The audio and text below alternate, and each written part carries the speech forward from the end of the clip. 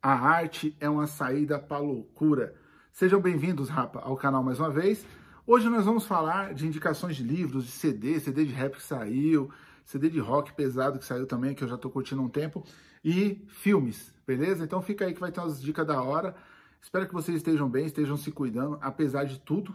Mas eu resolvi fazer um vídeo a mais essa semana, principalmente para a gente fugir dessa loucura toda, porque não tem como, tem um monte de gente em casa, tem um monte de gente que depois do trabalho fica em casa e que acaba se refugiando na arte, encontrando na arte uma solução, beleza? Então estou aqui tomando um cafezinho, acompanhado de uma frase sensacional, olha isso aqui, ó, semear, ó, a melhor hora para semear é na trovoada. Sabe quem falou isso aqui?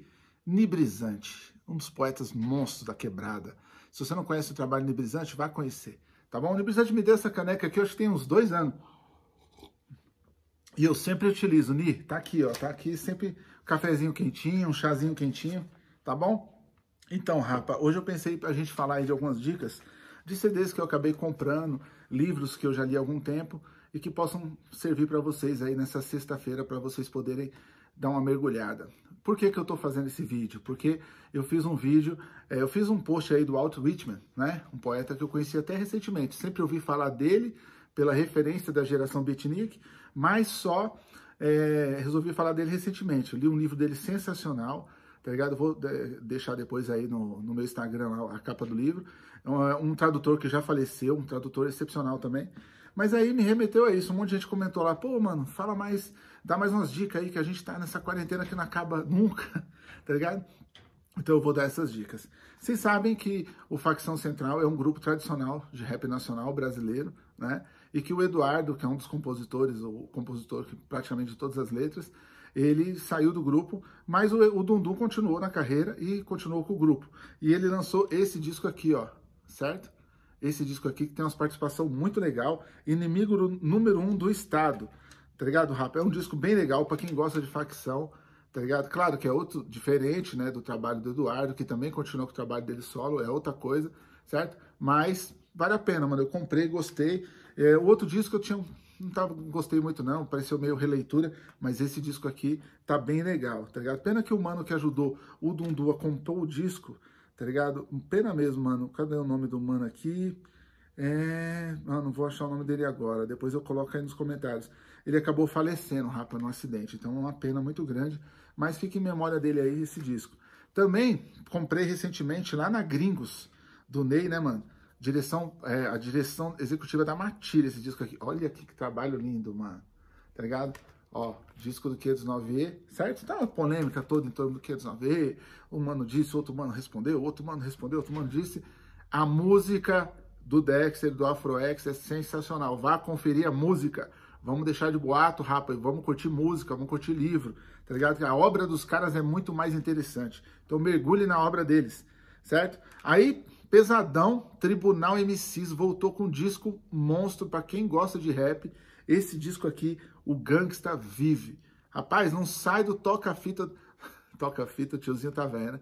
Não sai do toca-CD do meu carro. Embora o meu outro carro que tá reformando agora, que é o meu Galachão, ele tá, eu tô pondo toca-fita nele porque o toca-fita tinha quebrado. Então, vou gravar as músicas do Tribunal para ouvir em fita. Tem uma coleçãozinha de fita aqui, certo? Saiu esse disco do Ed também.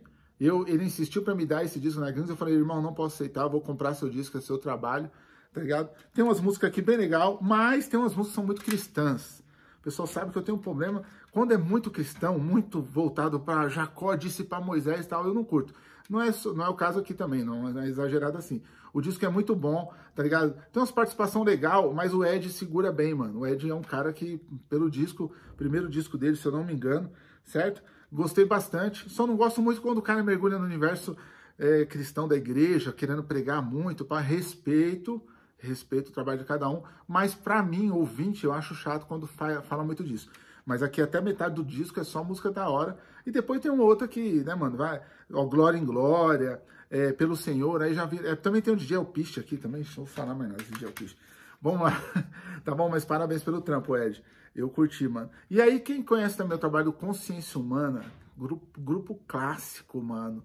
Grupo clássico de rap nacional, rapa monstro, monstro, aqueles grupos monstruoso. O WD é um dos vocalistas e lançou esse disco solo aqui, ó. E o Aplique também lançou do solo. Eu ainda não comprei o do Aplique, certo? A gente não tá saindo dessa pandemia, eu tô esperando passar aí. Você é capaz. Quem não conhece rap de favela original, vai atrás de WD, Tribunal MC, os caras que eu tô indicando aqui, é pesado. E saiu, o DJ Kaique, ele tem o Dr. Caligari, né, mano? O retrato aqui, ó. Esse é um dos discos.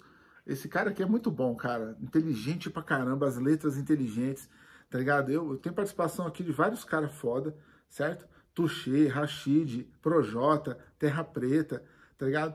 Eu acho até que a única crítica que eu vou fazer desse trabalho é que podia ter uns caras do clássico do rap nacional, tem muito cara da nova escola. Mas a linguagem do, do Kaique também, o do Caligari, né, no caso, é, ela é uma linguagem mais jovem também. Então, mas, porra, da próxima vez mete uns caras aí que, que você vai ficar pesado com esses caras, mano. Eu já vi você cantando com esses caras, certo?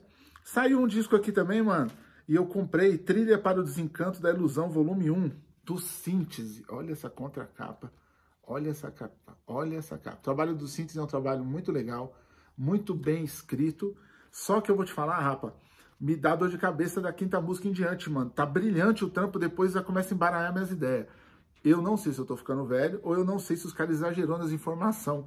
Porque tem hora que é muita informação, mano. Tá ligado? Mas vale a pena vocês conferir. Vocês que gostam de um rap, tá ligado? Diferenciado. Falando nisso, saiu o disco do Gaspar dos África Brasil, irmão. Também. Logo, logo eu vou falar desse disco aqui, certo? Nego Mola é o último disco que eu comprei certo? Da casa de alvenaria. Nego Mola pesadão. Tem uma participação dele com o Eduardo, tá ligado? Eduardo Tadeu, também na rua. Pesadão, pesadão. Nego Mola é pesado. Certo? Rap de quebrada, né, mano? Rap raiz de quebrada. E os pesadão, para quem sabe que eu gosto de rock também, gosto de MPB. Um dia nós podemos. Fiz um especial do Chico César. Se você não olhou, entra aí no canal, procura aí. Eu falando do Chico César. Falei do Arnaldo Antunes também, dos livros dele, né? Killed by Killed certo? Trabalho do senhor Max Cavaleira, mais um trabalho dele independente, né? Mais um outro trampo dele. Ele tem várias bandas, mano.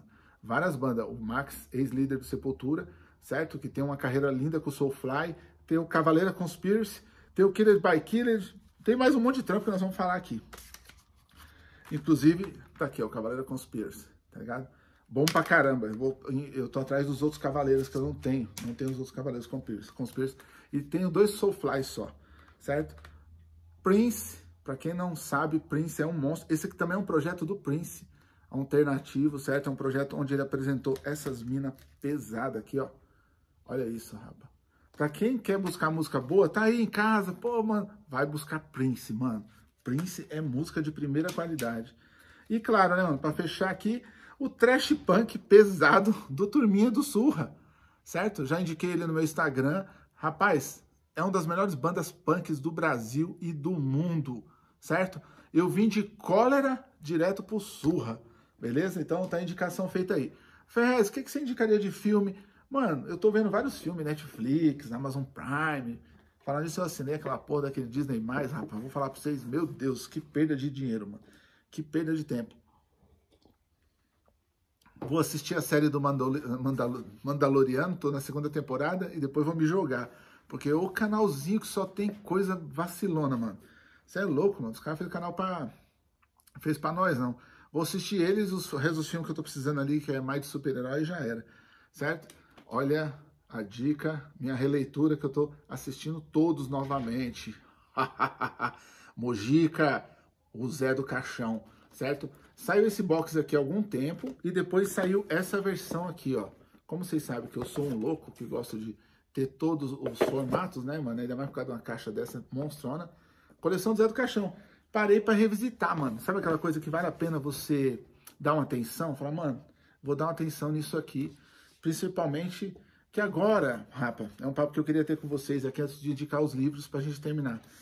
Agora, também com essa pandemia, deu tempo da gente parar e curtir as coisas que a gente estava comprando, as coisas que a gente não que a gente só viu uma vez, tá ligado? É muito louco isso, mano, porque pela primeira vez eu comecei a organizar minhas coisas, a minha leitura, organizei meus discos. Então, tudo tem um lado horrível que é das mortes e tudo que tá acontecendo, mas tudo tem um lado também que é pra você dar uma parada, dar uma, reflex, né, uma reflexão, tá ligado? E eu não posso esquecer que eu tô apresentando o boné, ó, tô apresentando o um programa com o boné da resinagem, me mandaram de presente, ó.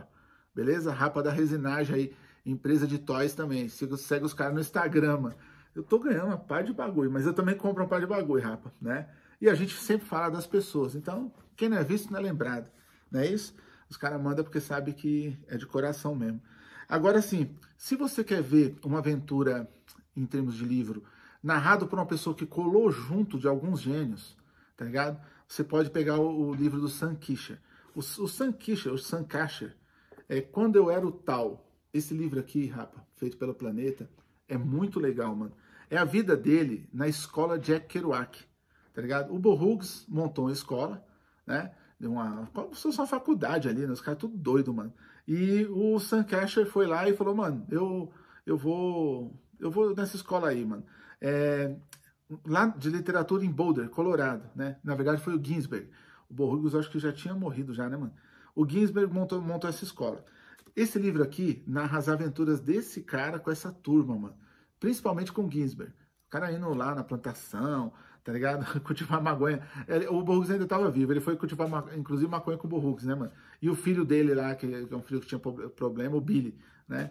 Cara, esse livro aqui é muito divertido. Se você quer saber da geração beatnik sem ser estudo, vai nesse livro aqui que você vai se divertir. Ainda mais narrado de uma forma que o cara colou, participou, o estranhamento do cara com aqueles caras, né? Monstros, monstros, monstros. Mas se você quer entrar num romance mesmo épico, uma coisa que inspirou até filmes e tal, mas é o livro é, é mais impressionante, o livro é muito bom. O Stig Larsson fez uma trilogia que depois que ele morreu, ele até tinha um livro inédito, não terminado, né? Stig Larsson é um escritor fenomenal que criou a trilogia Millennium, certo? Vai nesse livro aqui com fé que você não vai se arrepender. Os homens que não amavam as mulheres. É a história de um jornalista tá ligado? Esse cara trabalha numa revista, editando revista e tal. Ele é investigador também, ele vai fazendo uma investigação ali por fora. Virou um filme, né, com esse título aqui, Os Homens que Não Amavam as Mulheres. Mas não tenha preguiça, não. Vá no livro, mano. É grossão tal, mas vale a pena. Cara, esse cara aqui é um gênio da narrativa, tanto de detetive, a descrição dos personagens, tá ligado? Vale muito a pena, mano. É aquele livro que você pode ler tranquilo, você vai se divertir, você vai curtir. E eu vou dar aqui uma dica também de uma mina aqui do Brasil que escreveu um trabalho que virou livro, né, mano? A Roberta Estrela Dalva, ó. Para quem não conhece a Roberta Estrela Dalva, puxa aí na internet, Roberta Estrela Dalva. Você vai ver que é uma mina que faz vários trampos com o slam, uma atriz poderosíssima, tá ligado? Que é pouco referendada, hein? Pouco referendada. Esse elite branca aí faz favor, hein, rapa? Pelo amor de Deus, hein, mano? Nem fala dos prêmios que a mina ganhou, não dá uns toques pra, né, pra gente conhecer o trabalho da mina. Tá ligado? Então quem é aqui do movimento conhece o trabalho da mina, mas quem não é não conhece, mano. E vale muito a pena ver, hein, mano. Esse teatro hip hop, rapa, é um dos trabalhos que ela realiza, né? É um dos trabalhos, mas é que ela faz uma apurada investigação coligando líderes negros com o movimento hip hop, passando pela questão do teatro que ela manja muito bem. Eu tive a honra de ensaiar lá no teatro, no espaço dela, certo? Ela faz um slam poderosíssimo.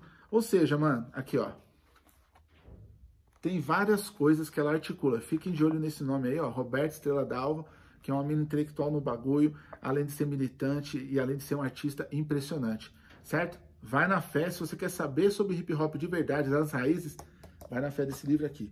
E para terminar, eu vou pedir licença para vocês, é licença aqui, tá? Para falar do Deus em Pessoa, o novo trabalho da minha editora junto com o Tiago Ferreira. Aqui, ó, Deus em Pessoa, da Comic Zone.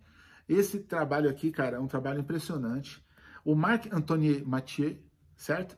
É um autor que lançou várias obras, mas no Deus em Pessoa ele se su supera. Ó, se su su super-homem supera. Por quê?